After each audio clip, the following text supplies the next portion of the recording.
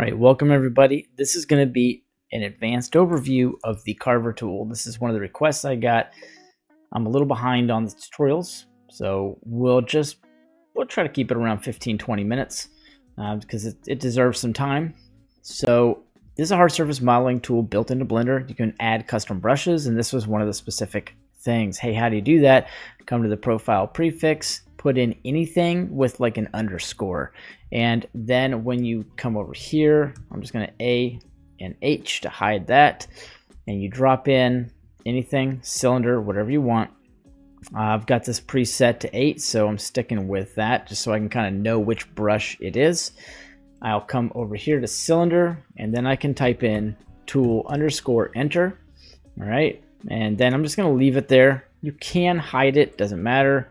I'm just going to bring everything back and it looks like I've got this set to just a little bit too high of a scale. So I'm going to bring it down and this is irrelevant because you can change this once you get into the brushes. So I'm just going to apply the scale anyways though.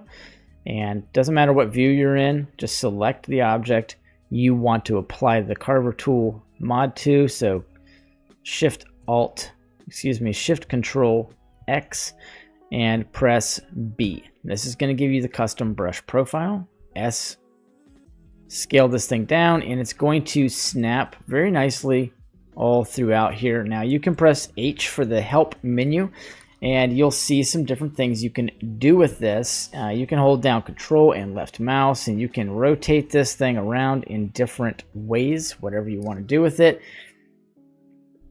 And I want to cycle through these. So to cycle through, it's going to be W or X. And if I hit X one time, pretty much should work. I'll be on my custom brush and then I can scale this up a little bit.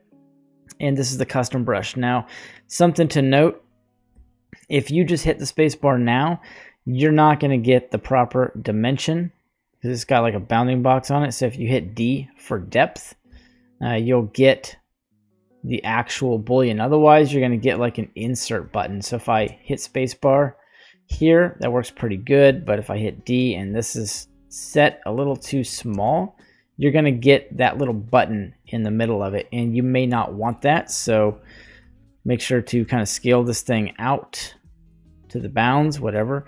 And then you can scale the entire brush down and then hit enter. And then you'll have your custom brush. Now that's how you would do that and navigate it. But let's say you want to do something a little bit more interesting. And I'm going to hit control 3 because 3 will bring you facing like the side or whatever. And then control 3 will bring you the other side, the opposite same side. So now we want to do is we want to use the arrow seat. So you take the up arrow and you can make an array. Take the right arrow, you can make an array. And I'm just going to do something like this. Now, if you look over here, you'll see you have uh, the rows and columns, J and U. These are going to be for spacing them. So if I hit U and go up and down, okay, that's a little sensitive. Let's bring, let's bring that back in. I have no idea why it's being that sensitive. That's funny, but at least you can zoom in and out with the mouse. That's good. So I'm going to try that one more time something like that. And I want to lessen those rows because that's going to get into my bevel and my creased edges. And now if I hit J, I can kind of spread these out a little bit.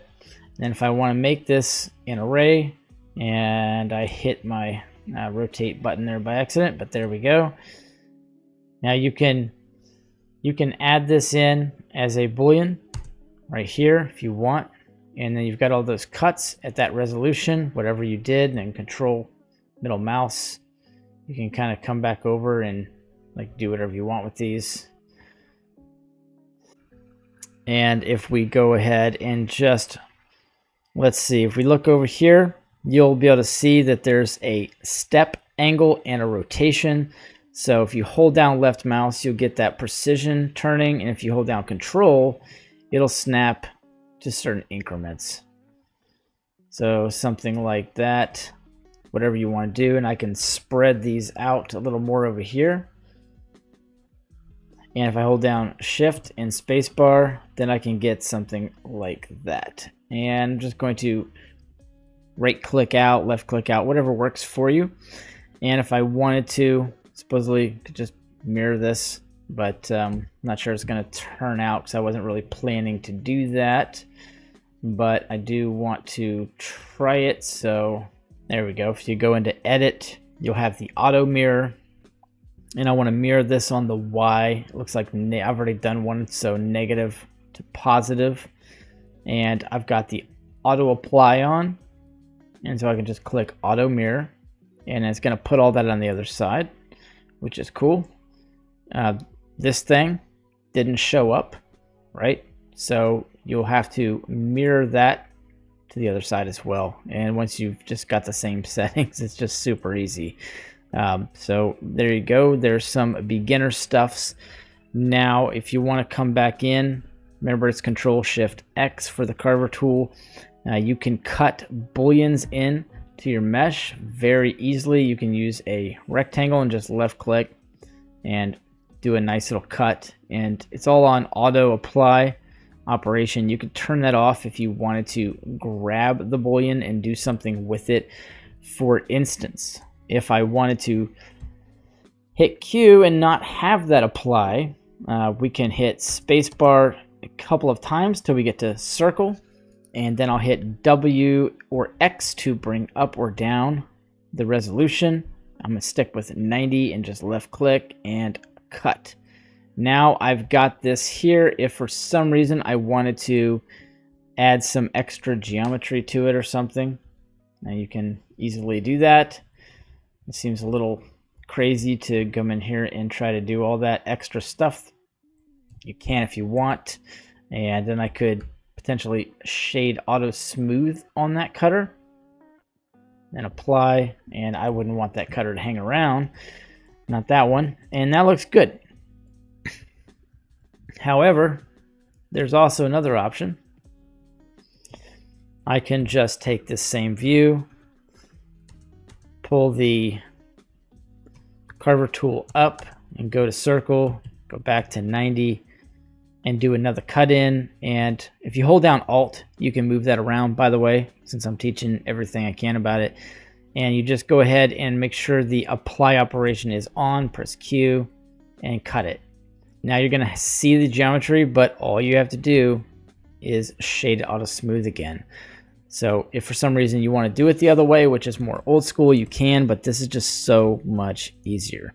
And so now you'll be able to make a lot of different cut-ins and the geo really isn't too bad. Like say if you want to add something later, you can.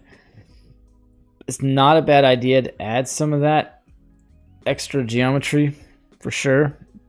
Uh, but you don't really have to. So this is just for basic hard surface modeling. Once you're done, you could do something like Quad Remesher, which I did purchase. I've got a three month subscription, just keep renewing it. Stuff is great. Uh, it's going to just revolutionize the way you do things. It's so much quicker, and it's not like the QuadriFlow remesh, which is down here. If you go to the quad and use the QuadriFlow remesh, uh, this is much more powerful and much easier to use.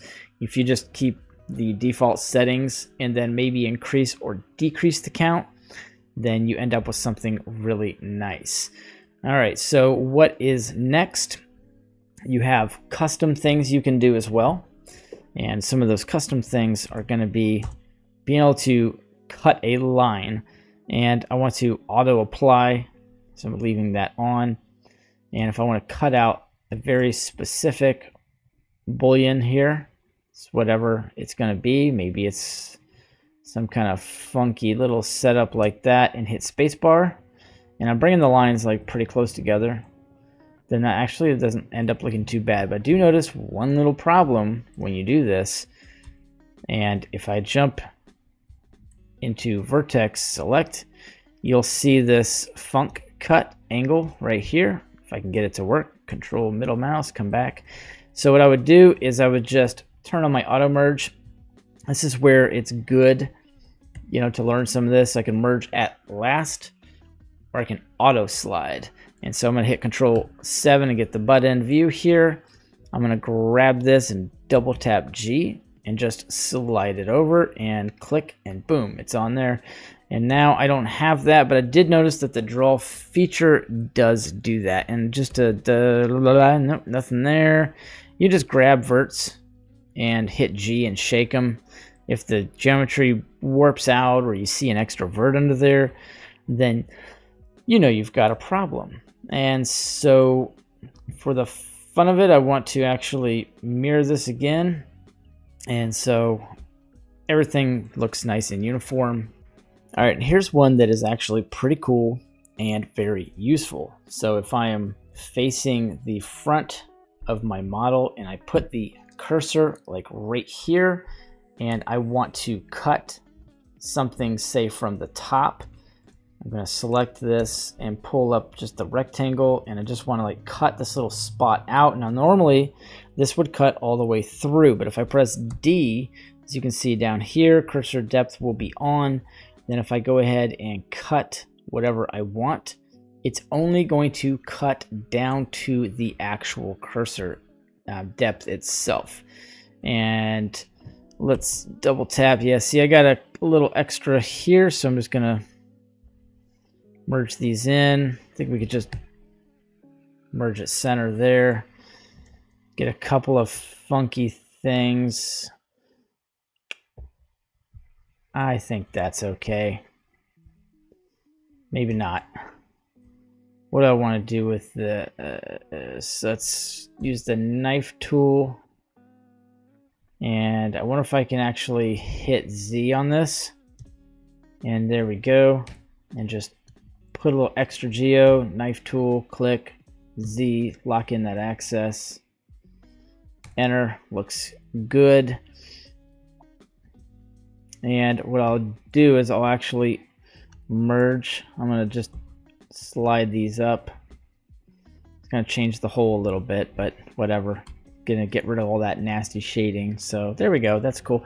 So some things you got to correct, but that's to just be standard for any models that you're making. So if you're in here and you want to create something you know pretty abstract you'll be able to do it and you just realize there's going to be a little bit of cleanup involved but if you guys have any other questions about the Carver tool, there are a few more things you can actually do with it, but it's nothing super important. Uh, we'll go over, we'll just go over it real quick. Let's just say you're here on the top view and I want to just bring the cursor maybe right there and I just want to create some geometry.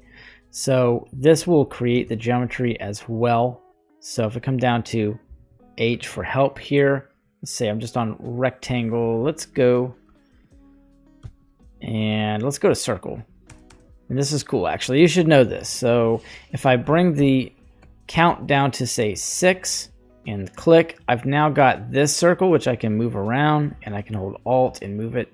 So before I'm actually going to apply this cut, um, I can move it around and get what I want out of it. Now cursor depth is still on and control will actually snap increments as well. So there's there's a few more things to go over. It's not a whole lot, but I want to press C to create some geometry. So if I press C and then spacebar, left click, now I've got some geometry in here.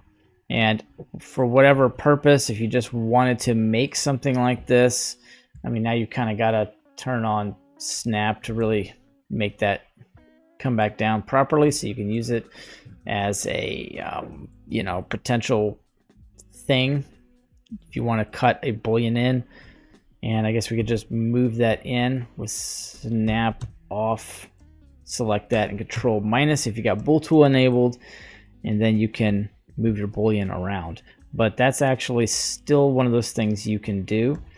So if we bring up Carver tool just real quick and I want to draw another circle out and I don't want the apply operation on and I can just cut that in.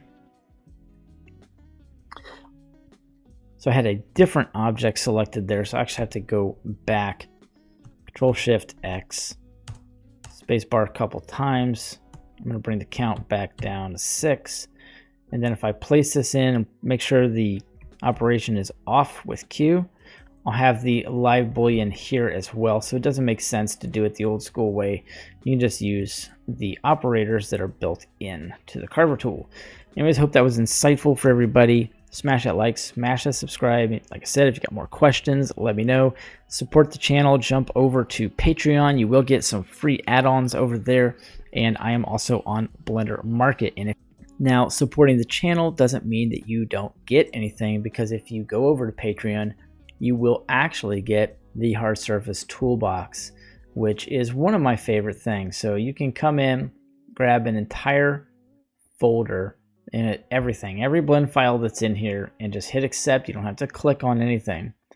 It's going to create categories. Those categories are going to be each one of those blend files, which is inside of there.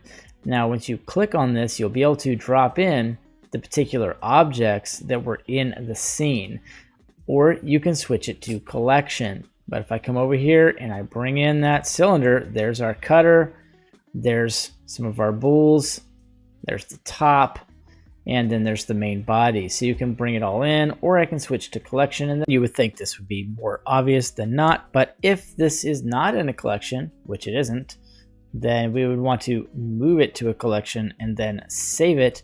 And then if I move back over to collection and want to pull that back in, then I can do that. And I'll just go back to the practice folder, bring everything in. That's now a category. I'll bring the sphere setup back, and then I've got collection one, and voila, everything comes in just like you'd expect. If you do join the Patreon, you will get free add-ons every month and special updates for those add-ons that will make your life much easier.